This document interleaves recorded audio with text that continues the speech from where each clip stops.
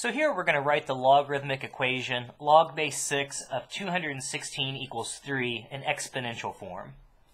So again, we write log base a of x equals y if and only if a to the power of y equals x.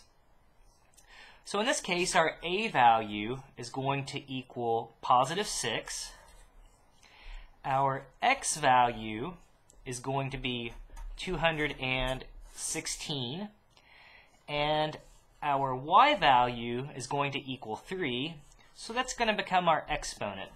So rewriting log base 6 of 216 equals 3 is equivalent to saying 6 to the third power equals 216 and I think converting from logarithmic notation to exponential notation is maybe a little bit easier because I think exponential notation is, is what people are more familiar with. And you can even, you know, check if this statement is true.